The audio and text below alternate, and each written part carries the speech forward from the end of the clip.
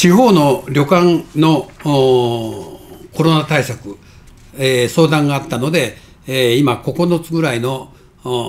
アイデアを考えております。一番は、え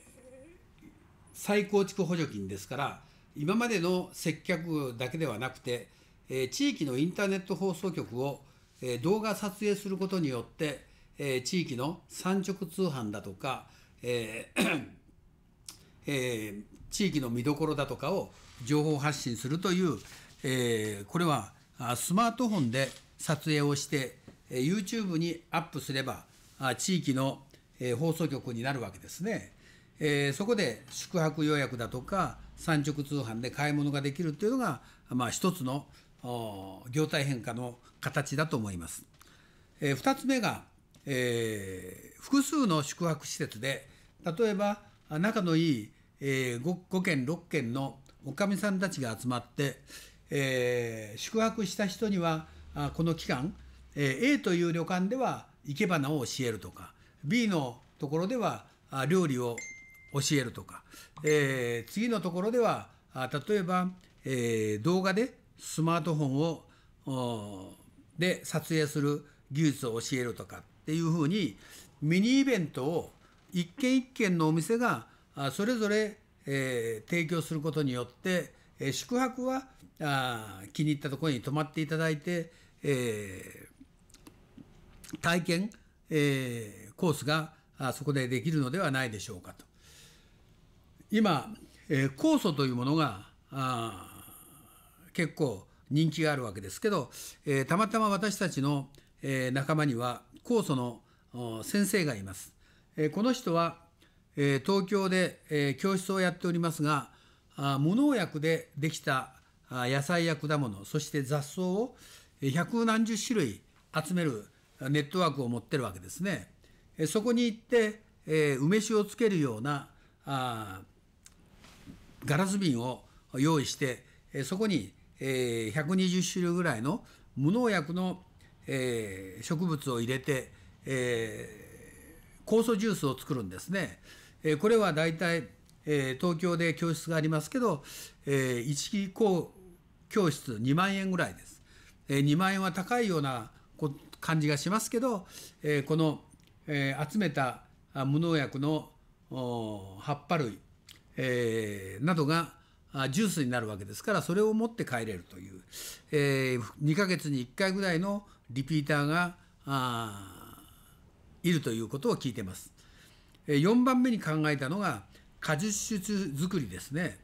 飲食店でえー、とりあえずビールとか、えー、焼酎とかってありますけど例えば、えー、果実酢が10種類か15種ぐらい、えー、瓶がずっと棚にあって今日はあんずの果実酢がいいなとか、えー、かりんの果実酢がいいなっていう、えー、並べてあればあこれは、えー、旅館で日にちを決めて、えー、果実作り教室に来れば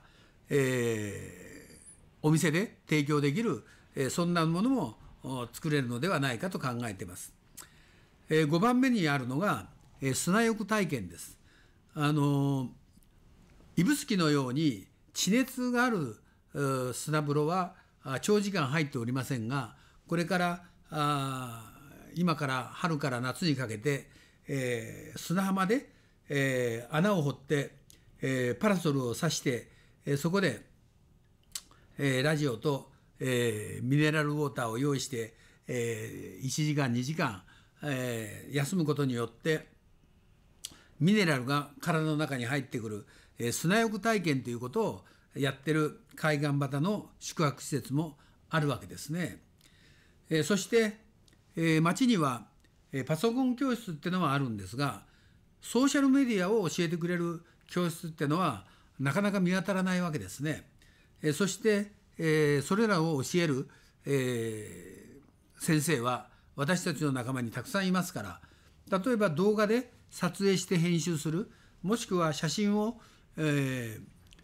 スライドショーにしてペラペラあ動画風に見せるっていうことも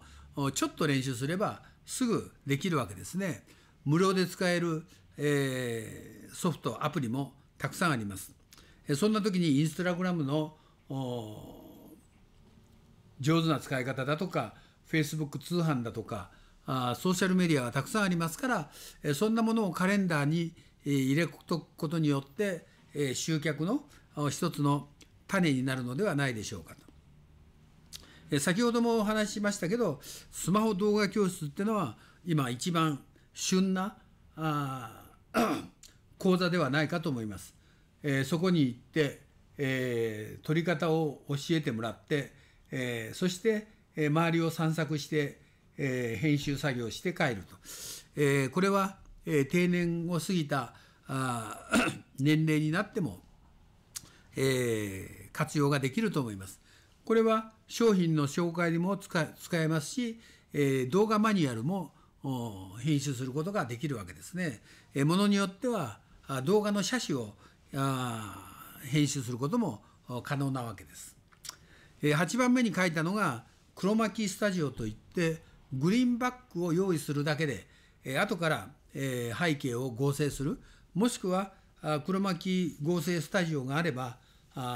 一発で編集作業ができてしまいますので、え例えば企業であったら、1泊2日でえ30本、40本の動画マニュアル、先に現場でスマホで動画を撮っといて、ここで編集する、えー、ようなことも可能ではないかと思います。そして、えー、今一番大事なのは、経営計画書作り教室というやつで、えー、私たちはストラックのブロックを持ってるわけですから、売上の中に固定費と変動費があると。えー、固定費と変動費を下げるか、えー、もしくはあ新しい売り上げを作るかというのが、この経営企画書作りの原点だと思います。これもなかなか一人では作れない部分がありますけど、えー、じゃあ飲食店だとかあ宿泊施設なんかはやはり今売り上げが半減とか3分の1になってるケースがあるわけですからどうやって固定費を下げるか変動費を下げるかもしくは新しい売上利益をどう作るかっていうのはあみんなと一緒にここで、えー考えることによって、えー、コロナもしくはコロナの後のビジネスを再構築するそんなことが宿泊施設で用意がしてあれば私たちはそこに私たちの仲間に、えー、送り込むことができるわけです。ぜひ今、小規模事業者持続化補助金とか、小規模事業者再構築補助金だとか、たくさんの助成金、補助金が用意されているわけですから、この機会にえコロナ、ポストコロナ対策を一緒に考えようではありませんか。